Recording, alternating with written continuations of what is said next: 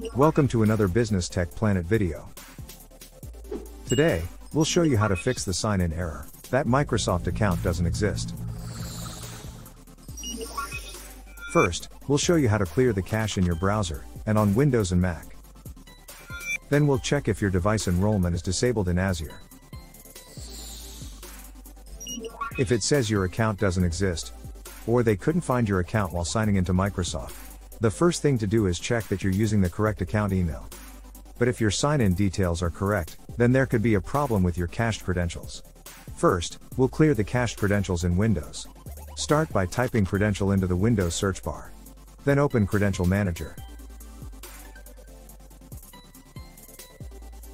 In Credential Manager, click on the Windows Credentials tab.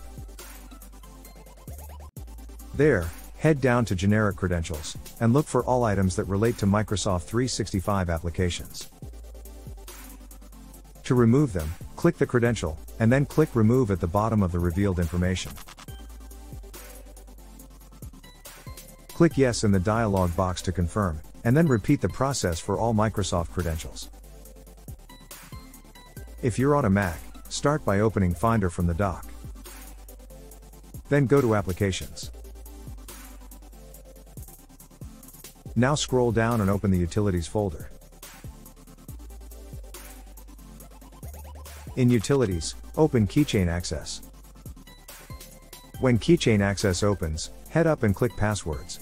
And then search for Microsoft. Now head down and right-click any Microsoft Office credentials you can find. Then select Delete.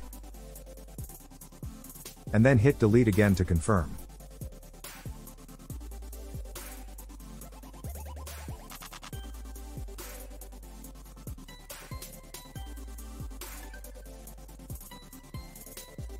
If you still can't sign in, you can try clearing your browser cache. For Chrome users, click the three dots in the top right. Then select Settings from the dropdown. In Settings, head across to the left menu and click Privacy and Security. Next, go down and select Clear Browsing Data.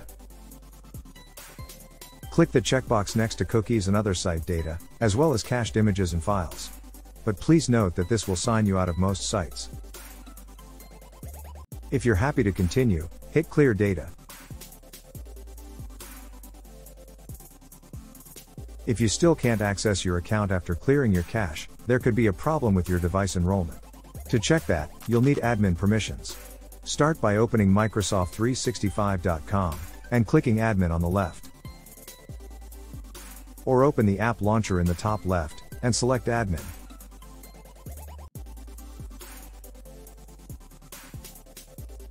In the Admin Center, click the menu icon in the top left. Then go down and click Azure Active Directory. Or click Show All, and then select Azure AD from the list of admin centers. In Azure AD, click Users on the left. Then select all users from the dropdown. Now click your name, or the name of the person who can't sign in. Next, click Devices in the left menu. And then check to see if any devices are disabled. If so, click the checkbox next to the device name.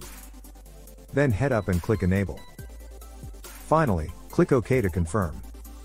If you still can't access your account, go to account.microsoft.com and verify that the email you're trying to sign in with is correct. That's all for this video. If you found it helpful, why not buy us a coffee? We'd really appreciate it. And, you'd be helping us grow the channel. Remember to check the description for additional links and resources. And don't forget to subscribe for more Microsoft videos.